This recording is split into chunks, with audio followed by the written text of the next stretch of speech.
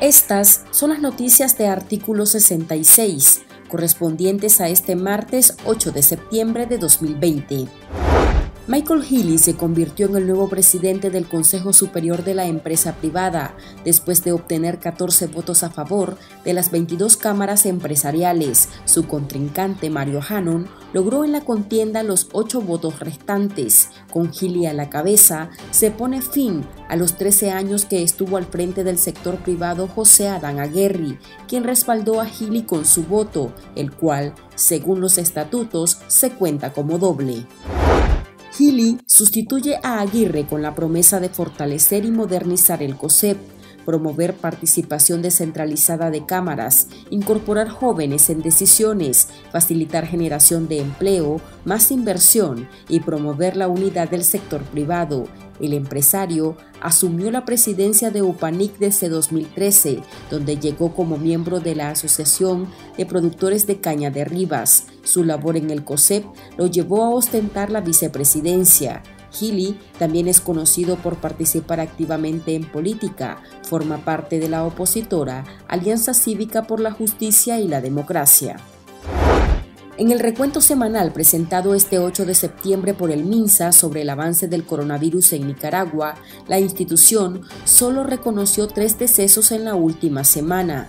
La entidad sumó en siete días 150 casos confirmados, más el acumulado desde que informaron sobre el primer paciente positivo el 18 de marzo de 4.668, se establece que de acuerdo con los datos oficiales, en el país 4.818 personas han contraído el virus. El MINSA sigue a la baja con sus estadísticas. En la semana de cierre de agosto reportó cuatro decesos y en esta tres, y los nuevos pacientes disminuyeron en 24. El reporte del Observatorio Ciudadano COVID-19 contrasta con los del MINSA e identifica 10.121 casos sospechosos y más de 2.500 víctimas. La hermana del preso político Justo Rodríguez, Esmerita Rodríguez, informó que el reo sigue en la UCI del hospital en Fonseca y que teme no volver a caminar porque no siente sus piernas y además requiere de ayuda hasta para sentarlo para intentar comer, como secuela del derrame cerebral que sufrió hace 10 días. Justo no tiene movilidad en la mitad de su cuerpo, Pese a que ya le desconectaron el oxígeno, continúa con un dreno en la cabeza y presenta serias dificultades para hablar. A Rodríguez, la policía orteguista lo encarceló en abril de este año por conmemorar los dos años de rebelión cívica y lo condenó el 21 de julio a cuatro años de cárcel por obstrucción de funciones.